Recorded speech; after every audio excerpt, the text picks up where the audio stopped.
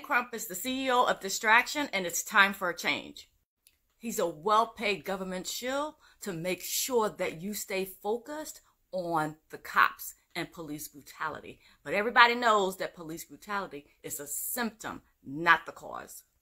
We deserve better than that because everybody knows to get rid of a problem, you don't focus on the symptom, you focus on the root cause.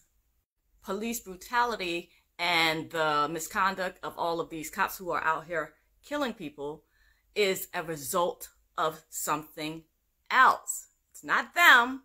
Police brutality is a symptom. The misconduct is a symptom of something over here, but he wants to keep you over here focused on this the police brutality and the, and the cops. Let's talk about the root problem, which is you have to go up the chain of command. And more specifically, you have to talk about the mayor, the governor, and the district attorney. They are all public, elected public officials, and they owe a duty to serve the public.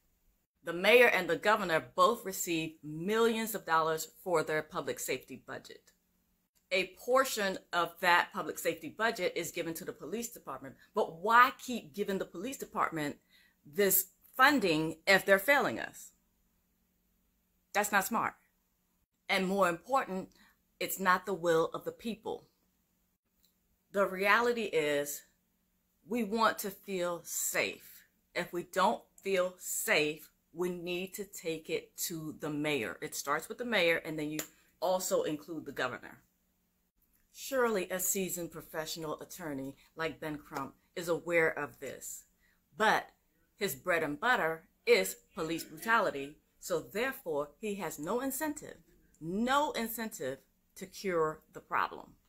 He'll continue to do the news cycle while there's a fever pitch for justice for the latest victim, and then when it dies down, he'll just rinse and repeat. Parade the family in front of the media with press conferences give him more publicity for more unsuspecting families to hire him whenever the new case of police brutality happens. This is not just a predictable vicious cycle with him. This is his business model. The only difference with Ben's regularly scheduled program with the Tyre Nichols case is he couldn't spew in the racism aspect. Enough about this pain profiteer hold everyone accountable, starting with the cops and work your way up the chain. And then taking your power back by knowing your rights for yourself. I help myself and I teach others. I am the blueprint. But I could only help the willing.